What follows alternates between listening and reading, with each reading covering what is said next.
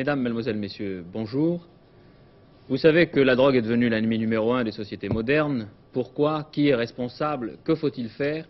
150 experts internationaux sont en ce moment réunis à Strasbourg pour chercher des remèdes. Parmi eux, M. Maurice Ichter de Belgique, qui sera tout à l'heure l'interlocuteur de Télémidi.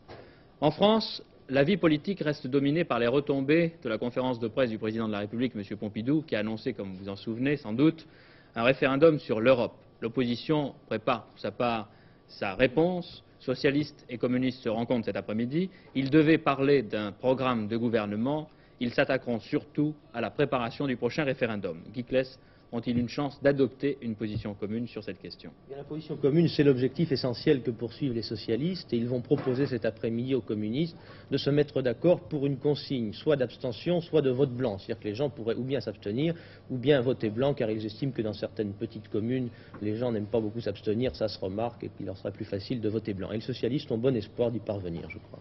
Alors, les socialistes voulaient jusqu'à présent l'élargissement du marché commun, les communistes non. Ils devront expliquer leur choix qui est ni oui ni non devant l'opinion publique et l'électorat. Est-ce que c'est facile à faire? M. Mitterrand a commencé devant les journalistes hier soir à expliquer un peu cette position. Il a dit certes, nous sommes européens, et s'il ne s'agissait que de dire oui à l'Europe, ça ne poserait pas de problème pour nous. Mais nous considérons que ce référendum est inutile. L'adhésion du peuple français à l'Europe est connue par avance. Donc pourquoi M. Pompidou a-t-il fait ce référendum a dit M. Mitterrand? Eh bien, il y a deux explications possibles, ou plutôt il y a deux raisons. La première, c'est de diviser la gauche, et la deuxième, c'est de transformer ce oui en une approbation de toute sa politique. Eh bien, dit M. Mitterrand, si nous pouvions dire oui à l'Europe, ce n'est pas possible de dire oui à M. Pompidou. Mais comme nous ne voulons pas non plus avoir l'air de dire non aux Anglais, il n'y a qu'une solution possible, c'est l'abstention, et nous pensons qu'effectivement il y a une petite chance pour que les communistes puissent euh, l'approuver. Quant aux communistes, eh bien ils sont anti-européens, c'est vrai, mais euh, dès lundi, M. Marchais a expliqué que l'Europe, euh, le marché commun était une réalité sur laquelle il serait assez difficile de revenir. Et depuis toujours, il est vrai, les communistes avaient dit que l'Europe ne devrait pas être un obstacle à l'union de la gauche. Alors ils ont l'occasion de le prouver en, acceptant la proposition socialiste. Alors que dans leur programme de gouvernement, ils étaient manifestés assez nettement contre euh, l'élargissement du marché commun. Oui, mais leur thèse est que si la gauche venait un jour au pouvoir, ça sera à ce moment-là au parti de gauche de régler ce problème entre eux. Alors maintenant, sur le plan concret, comment les choses vont-elles se passer? Eh donc cet après-midi, les communistes rencontrent les socialistes au siège du Parti communiste. Si euh, M. Marchais et M. Mitterrand se mettent d'accord, cet accord devra être ratifié par les instances des deux partis. Or, le comité central du Parti communiste siège aujourd'hui et demain, donc ça pourrait être fait très vite. Quant aux socialistes, ils réuniront dimanche une convention restreinte, 150 personnes environ, vraiment les dirigeants du parti, qui devront eux aussi ratifier cet accord et, sinon, au cas où il n'y aurait pas d'accord avec les communistes, le Parti socialiste définirait, seul sa position et il y aurait peut-être une offensive des partisans du oui qui se développerait à ce moment-là. Merci. Le PSU a prévu de rencontrer les socialistes de M. François Mitterrand. Ce matin, Michel Rocard a donné à la presse un certain nombre d'indications sur ses conceptions européennes. Jacques Idier. Oui, le PSU ne dira pas oui au référendum, il ne dira pas non, il choisira entre différentes formes de boycott, abstention, bulletin nul, bulletin blanc. Car pour le PSU, il s'agit de savoir quelle Europe il faut construire, l'Europe du capitalisme ou bien l'Europe du socialisme. L'Europe, selon les termes du PSU, l'Europe des travailleurs. Et dès samedi et dimanche, à Bruxelles, le PSU va commencer à expliquer le sens de sa campagne en se réunissant avec une quinzaine d'organisations venues de neuf pays. La réunion se tiendra au Palais des Congrès. Notons d'ailleurs que ce sera le 15e anniversaire du marché commun.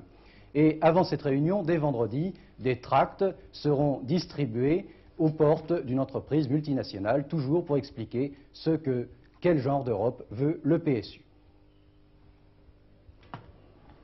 Pour être complet, pour être complet, je voudrais ajouter que le Parti socialiste de M. François Mitterrand a prévu de, rencontrer la semaine prochaine les radicaux de M. Jean-Jacques Servan-Schreiber. Conseil des ministres aujourd'hui à l'Élysée, en ce moment même, autour du président Pompidou, les trois ministres qui rentrent de Bruxelles, alors que pour M. Schuman et Giscard d'Estaing, les discussions à Bruxelles avec leurs collègues européens s'étaient plutôt bien passées, M. Michel Cointat, lui, ne peut pas en dire autant. Il a eu des mots, des difficultés avec son collègue ouest-allemand Hertel. L'incident franco-allemand est sérieux. Vous nous l'expliquiez déjà hier, François-Henri de Virieux. Qui et comment peut-on débloquer euh, la négociation? Je crois que pour l'instant, si vous voulez, les choses sérieuses ne se passent pas ici, mais comme vous venez de le dire, à l'Elysée, M. Cointat est reparti, il assiste en ce moment euh, au Conseil des ministres et il a été rejoint en fin de matinée par M. Bernard Ponce, qui est le secrétaire d'État à l'agriculture et dont le départ euh, imprévu a d'ailleurs provoqué ici une certaine euh, surprise. On pense que les deux délégués français reviendront ce soir avec de nouvelles consignes. D'autre part, il est possible que M. Pompidou téléphone dans la journée ou fasse téléphoner au chancelier Willy Brandt, puisque, vous le savez, nous l'avons expliqué hier, le différend franco-allemand est né d'une divergence d'interprétation entre ce qui s'est réellement dit à Paris entre les deux chefs d'État en février. écoutez, je reçois à l'instant, François-Henri, une dépêche de Bonn du côté de la chancellerie. On pense que M. Willy Brandt n'a eu et n'aura aucun contact avec le président Pompidou, mais tout ça reste naturellement à confirmer. Il n'est pas impossible que dans la journée, les deux hommes d'État se téléphonent, comme vous le disiez tout à l'heure. Mais sur quoi porte véritablement Monsieur le Cointal, conflit Monsieur le pensait hier soir que peut-être il y aurait un entretien. Sur quoi porte véritablement le conflit? Eh bien, euh, là encore, nous en avons déjà parlé. Les Français veulent que l'on fixe la date à laquelle seront supprimés les montants compensatoires qui ont été institués pour permettre aux exportations agricoles de se poursuivre malgré l'affolement, si vous voulez, des monnaies ces euh, derniers temps. Le maintien de ces montants compensatoires aboutit en effet à rétablir une sorte de frontière entre la France et l'Allemagne et permet à l'Allemagne de revenir à une politique agricole nationale, ce qui est évidemment tout le contraire de l'Europe. Mais les Allemands ne veulent pas céder. Monsieur Hertel, leur ministre, a compris la semaine dernière, comme tout le monde d'ailleurs, il faut bien le dire, que la question était réglée. Il a annoncé aussitôt la bonne nouvelle au Bundestag et aux organisations agricoles allemandes en leur annonçant qu'on maintenait pour un certain temps tout au moins les montants compensatoires. Aujourd'hui, évidemment, M. Hertel est dans une position politique difficile. Alors, à votre avis, à Bruxelles, est-ce que les ministres peuvent se séparer sans avoir pris de position en ce qui concerne la fixation des prix agricoles? Écoutez, je ne suis pas prophète, mais je ne pense pas qu'ils puissent se séparer sans prendre cette décision. Je pense qu'on s'achemine vers une séance de nuit avec un accord demain matin à l'aube ou au plus tard lundi ou mardi. Il ne faut pas oublier en effet que cette querelle franco-allemande dont on parle beaucoup actuellement n'est qu'un simple préalable, mais que les ministres sont ici pour régler finalement la seule chose importante, c'est-à-dire fixer les prix agricoles qui s'appliqueront à partir du 1er avril prochain il serait politiquement désastreux qu'ils n'arrivent pas à s'entendre sur le niveau de ces prix, dont on sait déjà maintenant qu'ils seront euh, en hausse de 2 à 9% selon les produits. Parce que l'Allemagne et l'Italie traversent actuellement des situations électorales difficiles, et il est évident que euh, pour les partis au pouvoir, il serait euh, désastreux que les agriculteurs glissent vers les oppositions. Alors, en Allemagne, déjà, les agriculteurs votent en majorité pour les chrétiens démocrates le moindre mécontentement actuellement, à la veille de l'élection qui doit avoir lieu euh, dans le bas de Württemberg le 23 avril, serait évidemment malvenu. On peut ajouter en effet que le chancelier Willy Brandt rencontre une opposition extrêmement active. Son chef Rainer Barzel, après ses voyages en Pologne, Union soviétique, aux États-Unis, est à Paris pour rencontrer les dirigeants français. Il s'entretiendra même cet après-midi avec le président de la République à l'Élysée. Les grandes surfaces contre le petit commerce un débat passionné hier soir à Hexagone. Partisans et adversaires des hypermarchés se sont affrontés durement à partir du cas très précis du centre Leclerc de Flers dans l'Orne qui a divisé la population. Monsieur Jean Bailly, secrétaire d'État au commerce, a joué dans ce débat souvent l'arbitre avant d'évoquer le sort de Gérard Nicou, le numéro un du Sidunati, emprisonné depuis quelques semaines. Monsieur Collet du Sidinati. Oui, ben, vous savez, euh, on l'a vu tout à l'heure, il y a deux justices en France, puisque je remplace Gérard Nicou, qui devrait être présent ici. Et que lui écoutez, a été condamné. de Gérard mais je ne Nicou, veux pas une question tout de suite. Monsieur le Ministre. Alors, vous avez entendu ces manifestants réclamer la libération de Gérard Nicou. Est-ce que vous pouvez nous donner quelques nouvelles à ce sujet? Est-ce que vous pensez qu'une mesure de clémence va être prise pour Gérard Nicou? Vous voulez faire allusion à une éventuelle amnistie? Écoutez, je dois vous rappeler que l'amnis- l'amnistie est quand même une mesure exceptionnelle de nature euh, législative et euh, qu'il n'est pas d'usage euh, d'en annoncer, si je puis dire, la date avant même que le projet de loi nécessaire soit déposé sur le bureau des assemblées. Je vous remercie de cette réponse. J'en conclus que sur le principe, il n'y a pour le moins pas d'opposition. C'est-à-dire, sur le fond, sur Oui. le fond, n'est-ce pas? Je voudrais néanmoins, néanmoins euh, vous dire qu'il n'a pas, en effet, il ne peut pas être euh, question actuellement, n'est-ce pas, de se prononcer, puisqu'aussi bien euh, il n'y a pas de loi en préparation, mais ceci ne signifie pas pour autant euh, que nous avons arrêté définitivement la position pour l'avenir. Les prix, à partir du 1er avril, les prix seront libérés pour certaines catégories de commerçants et d'artisans, ce qui pourrait entraîner certaines hausses dans les restaurants, par exemple, et l'hôtellerie au moment des vacances. Le nouveau régime des prix est pour cette raison accueilli de diverses façons une enquête de Serge Misseret. Bon, alors je réclame deux quarts de filet grillé, un point saignant. La corporation sans doute la plus mécontente des mesures gouvernementales est celle de l'hôtellerie. Première manifestation de mauvaise humeur, celle de la Confédération des hôteliers et restaurateurs cafetiers, qui regroupe 45 000 entreprises, surtout en province. Elle a commencé par prescrire à ses adhérents la liberté des prix. Un communiqué très sec de la rue de Rivoli avec menace de sanctions a rétabli l'ordre. Mais pour combien de temps? Car la puissante fédération nationale, avec ses 200 000 adhérents, est elle aussi inquiète. Alors qu'on débloque les prix par ailleurs, l'hôtellerie reste bridée, la hausse maximum annuelle prévue est fixée à 4%. Monsieur Blas est propriétaire d'un café-brasserie à Paris, affaire d'importance moyenne. Pour lui, la réglementation est totalement irréaliste. En 1964, j'ai déposé mes menus à l'administration et on nous a accordé en 1969 10% de hausse. On nous a supprimé le couvert, on nous a accordé 10% pour la suppression du couvert, ça correspondait à peu près à ça, et on nous a encore accordé 10% de hausse sur 5 ans pour réévaluer nos prix. depuis, combien? Depuis 1969, euh, nous en sommes toujours au même prix. J'ai un menu qui est bloqué donc depuis 1969 à 10 francs. Bien, sur ces 10 francs, j'ai le service à, retourner aux garçons qui a été évalué forfaitairement à 1 franc, ce qui est déjà exceptionnel parce que le gouvernement n'a pas admis que notre personnel ne voulait pas travailler encore à ce pourcentage, premier point. Deuxième point, sur les 9 francs qui restent, j'ai 17,5 de TVA ramené à 15 puisque c'est un prix toute taxe, ce qui fait que sur 900 francs, j'ai encore 135 francs de TVA à déduire. Vous voyez ce qui me reste pour acheter ma marchandise. Vous savez que le kilo de beefsteak à l'heure actuelle, la viande a augmenté en deux ans et demi de 32% pour ce qui est du bœuf et de 27% pour ce qui est du mouton et du veau. Comment voulez-vous que dans un prix de revient de 900 francs moins la TVA, je puisse retrouver une augmentation sur une marchandise qui, dans le prix d'achat à l'heure actuelle, représente 180 francs. Le beefsteak que je mets dans l'assiette à un client me coûte 180 francs sans l'intervention de mon personnel, sans l'intervention de mes charges. Il n'est pas possible que depuis trois ans, on m'oblige à continuer à pratiquer ce prix de 10 francs. C'est ça qui, qui fait que la profession est à l'heure actuelle en but avec l'administration. Monsieur Malapris est propriétaire d'une grosse affaire dans le 16e arrondissement. Il est également responsable syndical à la fédération. Pour lui, la profession traverse actuellement une crise dont l'analyse est simple. Les raisons profondes, c'est que nous avons conclu des conventions euh, avec les pouvoirs publics dans le but d'aider à une sorte de stabilité pour lutter contre l'inflation. Cette période me semble complètement maintenant dépassée. Nous sommes dans une, période concurrentielle normale. Ces conventions collectives, si, ça, représente pour l'adhérent un nouveau blocage, ne, seront absolument pas souscrites ni respectées. Je, ne pense pas que le gouvernement euh, veuille, s'orienter vers des, moyens de coercition qui sont qui sont contraires justement au fonctionnement de, de, notre profession.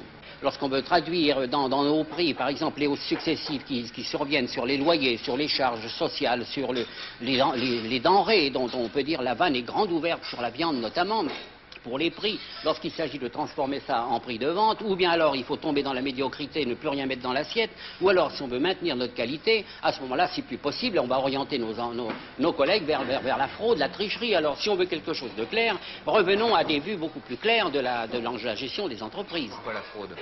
Eh bien, la fraude, justement, c'est le réflexe naturel d'un individu qui veut conserver à sa maison son standing, son entretien, son accueil, sa qualité, sa réputation. Et alors, cette fraude, ça n'est pas pour gagner de l'argent, cette fraude, c'est pour se maintenir. Et d'ailleurs, il n'y a pas fraude. Il y a fraude par rapport à des conventions qui ne sont pas applicables, et c'est tout. Si les deux organisations nationales, fédération et confédération, ne sont pas d'accord sur le choix des moyens, leur objectif reste identique, la liberté des prix. Pour les uns, elle passe par la révision des conventions actuelles, avec pour point de repère l'évolution de prix de denrées non saisonnières telles que la viande ou les laitages, mais tout le monde est d'accord pour une forme d'amnistie économique qui passerait par l'abrogation de la réglementation antérieure. Dans tous les cas, la position des finances reste la même, convention ou blocage, mais l'ébauche d'une solution passe quand même par la négociation. Michel Tardieu, sur le plateau de Télémidi, il se passe quelque chose euh, d'anormal à la Bourse de Paris. C'est assez exceptionnel que vous soyez avec nous ici. Oui, il y a des prix qui sont parfaitement bloqués. Ce sont ceux des actions françaises, puisque depuis deux jours, il n'y a pas de cotation à la Bourse de Paris. Hier, d'ailleurs, ce n'était pas un jour de grève. Hier, c'était un jour de vote. Les syndicats avaient réuni les commis en Assemblée générale. Et c'est au cours de cette Assemblée générale qui a eu lieu à l'heure normale de la Bourse hier qu'ont été refusées les propositions patronales. Les les agents de change proposent à leur personnel 5,5% d'augmentation cette année, plus 1% au 1er janvier 73. Les syndicats réclament 7,90%.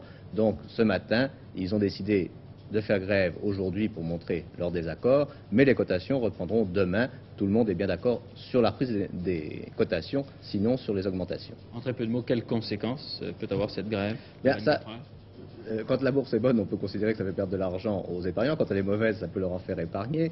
Euh, lundi dernier, la bourse était bonne. Espérons que ces deux jours de grève ne vont pas arrêter son élan.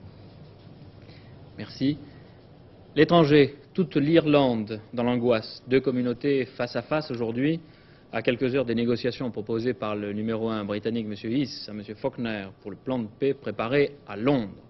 En Argentine, l'armée et la police à la recherche de la femme et des quatre hommes, des gauchistes, qui ont enlevé le directeur général de la société Fiat et qui veulent le traduire devant un tribunal populaire. Pékin répond à M. Léonid Brejnev Vous voulez améliorer vos relations avec nous, soit, mais faites un geste. Réduisez, par exemple, votre armée qui campe le long de nos frontières. Le président Nixon désigne l'ennemi public numéro un des États-Unis, la drogue.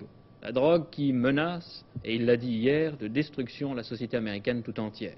Pour ne pas en arriver là, M. Nixon crée un nouvel organisme de lutte contre les stupéfiants. Le ministre français de la Santé, Robert Boulin, s'est inquiété devant le Conseil de l'Europe à Strasbourg des progrès de l'usage de la drogue. Elle gagne tous les milieux sociaux, a-t-il dit, et M. Boulin a ajouté qu'elle frappait maintenant des victimes de plus en plus jeunes.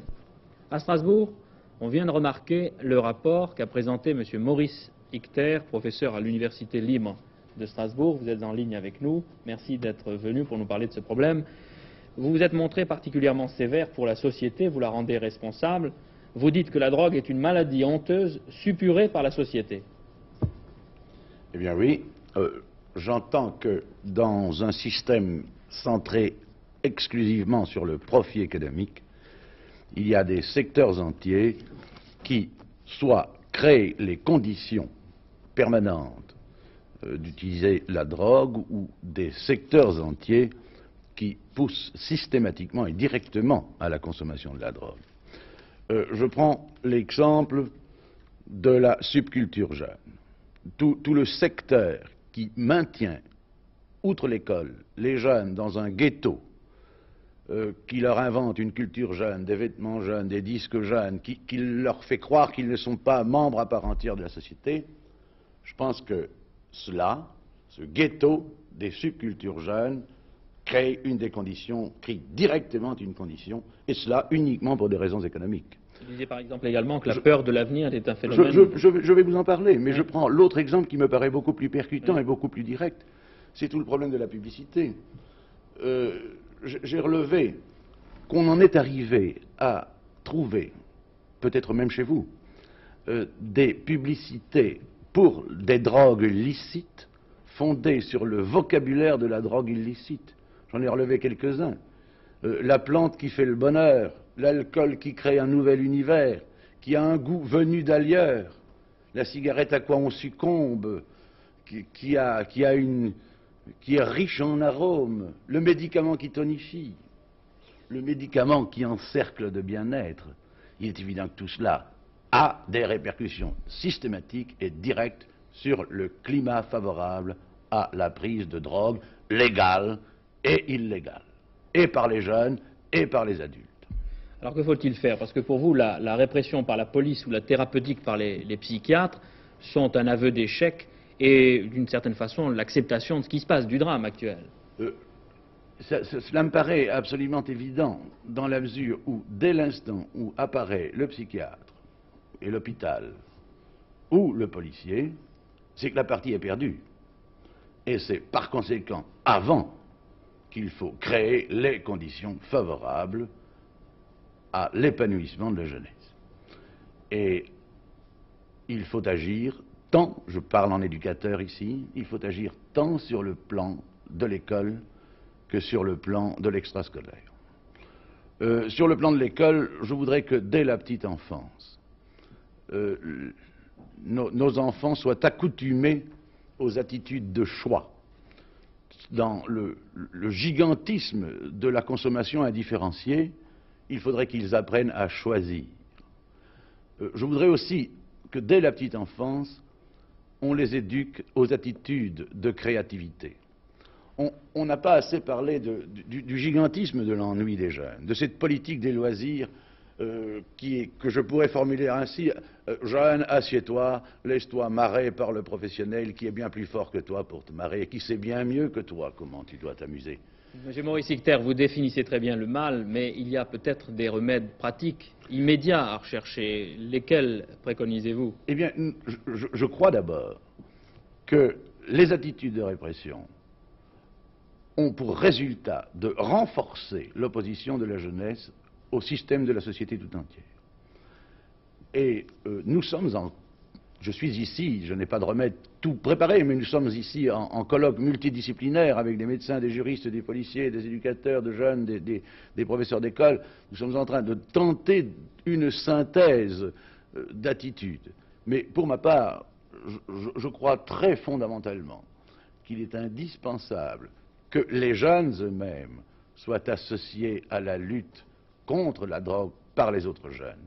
Il y a, dans notre jeunesse un, tellement grand nombre de jeunes qui, réclament une action, qui réclament un endroit de combat et un endroit de, lutte généreuse. Et nous avons tellement la certitude au, niveau de nos différents pays que ce qui manque le plus à la jeunesse, ce sont des, des systèmes de combat généreux, qu'il faut, en développant une attitude d'accueil, que nos pays systématiquement confient aux jeunes des organisations volontaires de jeunesse une mission spécifique, non suspecte, car l'intervention du psychiatre ou l'intervention du médecin, arrivant trop tard, est suspecte et représentative du système. Monsieur Icter, je vous remercie.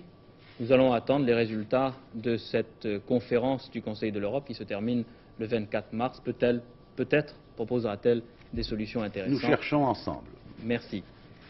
Vous venez de le dire, il n'est toujours pas facile d'avoir 20 ans. Paul Nizan le disait déjà. En tout cas, à cet âge, on n'a maintenant plus le droit d'entrer, jusqu'à demain, dans les jardins du Luxembourg.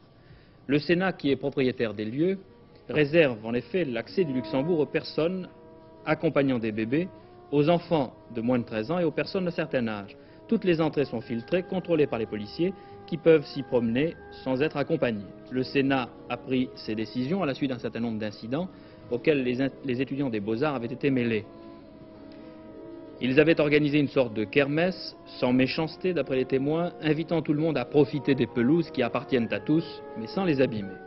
Les étudiants ont essayé ces jours derniers sans succès de franchir les grilles entr'ouvertes, en empruntant les enfants de la crèche des beaux-arts ou en imitant les bébés, la sucette à la main, le tout dans la bonne humeur. Les policiers ne se sont pas laissés convaincre. Voilà ce matin l'état des jardins du Luxembourg. Demain, à titre d'essai, le Luxembourg sera ouvert à tous, grands et petits. Les entrées seront libres, ce qu'elles doivent être. À présent, les sports. Football, les Anglais d'Arsenal veulent arracher leur qualification dans la Coupe d'Europe. Leur adversaire numéro un, Cruyff, l'âme de l'équipe d'Amsterdam d'Ajax. Une rencontre préparée comme un combat royal. Daniel Casal. L'Ajax d'Amsterdam se souvient que c'est un pénalty généreux qui lui a permis de battre Arsenal 2 buts à 1 au match aller. Le gardien de but Steuil s'attend à un véritable bombardement des fameux canonniers d'Arsenal qui n'ont pas caché leur intention de jeter toutes leurs forces dans la bataille pour combler ce but de retard.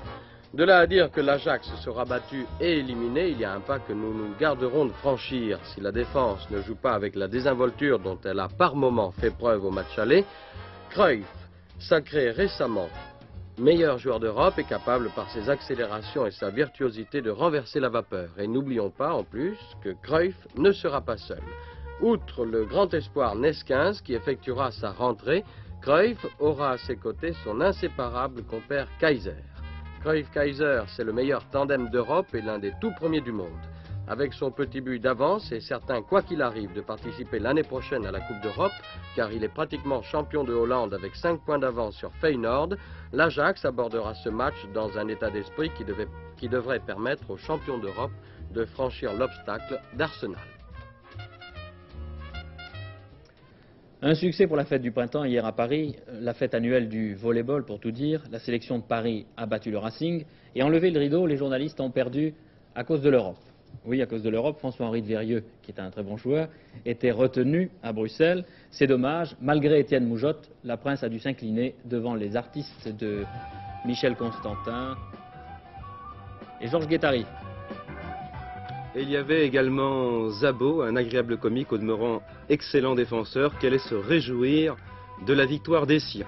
Clo-Clo était là, à grand renfort de voix, et ainsi que Michel Demet, se contentant de jouer les supporters. Et c'est la victoire dans le clan de Zabo. Une défaite qui ne fera pas la une des quotidiens, bien entendu. Après les seigneurs de la plume et du petit écran, place aux vedettes du Smash, le Racing champion de France sortant opère en maillot plus clair face à la sélection de Paris. Une sélection peut-être un peu moins homogène mais plus athlétique et aux individualités plus brillantes.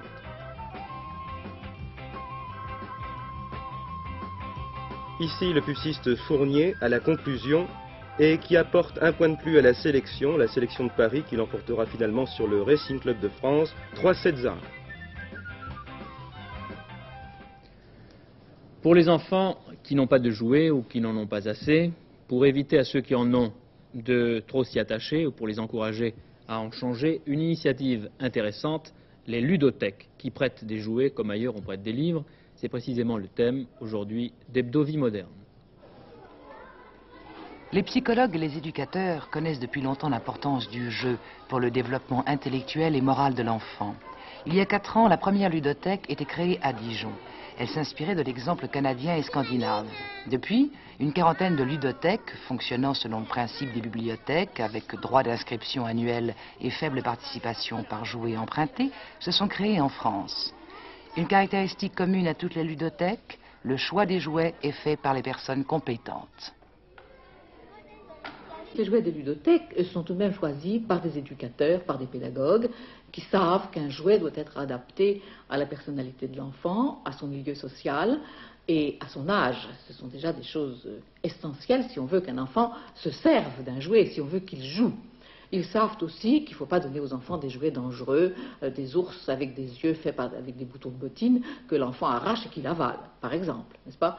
Il ne faut pas lui, non plus lui donner des jouets caricaturaux. Et il y a comme ça un certain nombre d'impératifs qui guident les éducateurs dans le choix des jouets dont ils peuplent les ludothèques. Là, je me suis aperçue que les enfants préféraient nettement les jeux en bois, euh, nettement aussi les jeux, les jeux musicaux, les jeux artistiques. Euh, contrairement euh, à ce qu'on peut penser comme euh, au sujet du train électrique ou de la machine à coudre ou des choses comme ça. Qu'est-ce que vous prenez de préférence? Des jeux qui peuvent se jouer en société. Un jeu de cartes Apple. J'ai choisi le disque, mais pas de jeu. Ça m'intéresse pas les jeux. J'aime mieux les livres, moi. Régulièrement, je tiens un fichier pour chaque jeu qui correspond au sexe et à l'âge de l'enfant. Et euh, au moment des achats, c'est-à-dire en février au salon du jouet, je fais des statistiques euh, pour savoir quel jeu je vais racheter ou acheter euh, comme nouveauté. J'ai une boîte à idées, les enfants mettent là-dedans évidemment toutes les idées nouvelles qu'ils ont.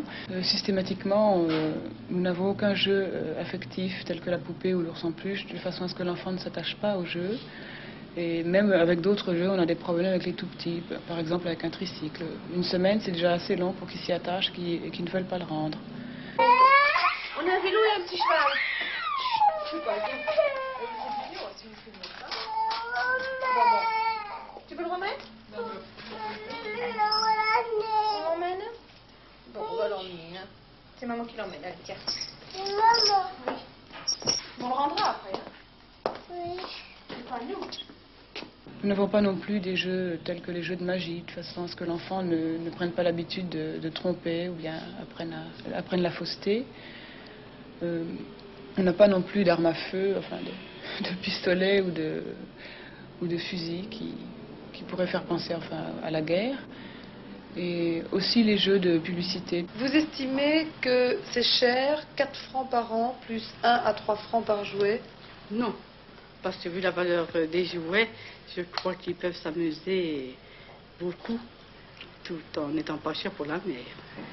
En changeant chaque semaine de jouet, eh bien, l'intérêt est renouvelé euh, constamment et euh, nous oblige à jouer ensemble euh, assez souvent. On n'a pas ça. Hein. Ben, qu'on peut faire des autres. Vous ne jouez pas avec vos jeux à la maison? Si, mais pas. Mais quelquefois on en a marre de jouer avec. Alors qu'à la bibliothèque, quand on en a assez, on les rend. Oui.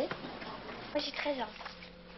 Et euh, jeux- il y a beaucoup de jeux intéressants pour notre âge aussi. Et euh, j'aime bien quoi. Qu'est-ce que vous aimeriez qu'elle ait en plus, cette bibliothèque? Plus de plus de- d'adhérents. Plus d'adhérents Oh oui, oui je trouverais. Euh, Il y a beaucoup de gens qui ne connaissent pas encore euh, cette méthode et s'ils la connaissaient, ils seraient contents.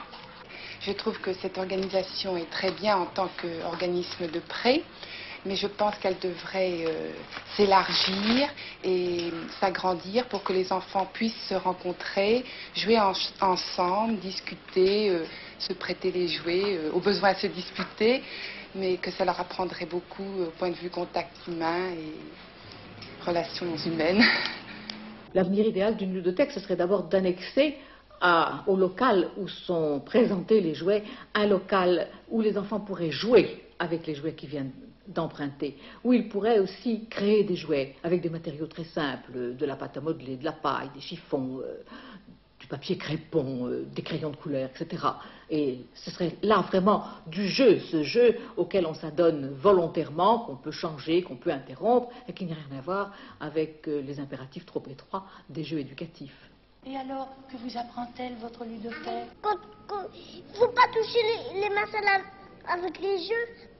Parce que si on a les mains sales quand on touche les jeux, alors Ben, là, ça les salit. Ça les salit. Ils sont tous salis. À pas se disputer. C'est pour aider les autres. Respecter les choses.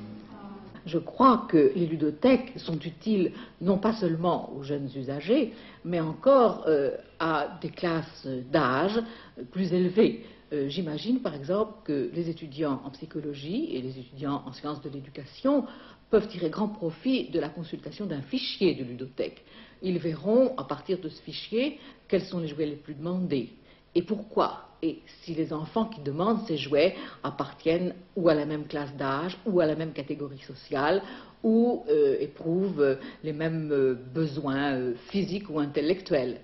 Il y a là toutes sortes de conclusions à tirer qui, à mon avis, pourraient rendre grand service à des psychologues soucieux d'étudier le jouet. La France est très en retard à ce point de vue. En Allemagne, il y a des centres spéciaux créés pour l'étude des réactions de l'enfant vis-à-vis de ses jouets.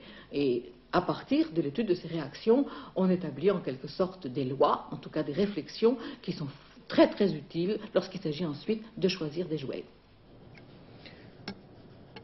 Aujourd'hui, Sainte Léa, cette grande dame romaine, s'est retirée près d'Ostie pour mener une vie monastique. Elle est morte en 384. Quelques titres rapidement de ce qui a été l'actualité de la journée. Conseil des ministres, il s'est terminé il y a 25 minutes à peine. Europe à Bruxelles, la grande question, comment faire progresser l'Europe verte actuellement bloquée par un accrochage franco-allemand? Première rencontre cet après-midi à Paris, communistes, socialistes, M. Marché, M. Mitterrand et leurs amis. L'opposition prépare sa réponse euh, sur le référendum concernant l'Europe. Le temps, il reste beau et ensoleillé. Profitez-en. Merci de nous avoir écoutés. Au revoir. À demain.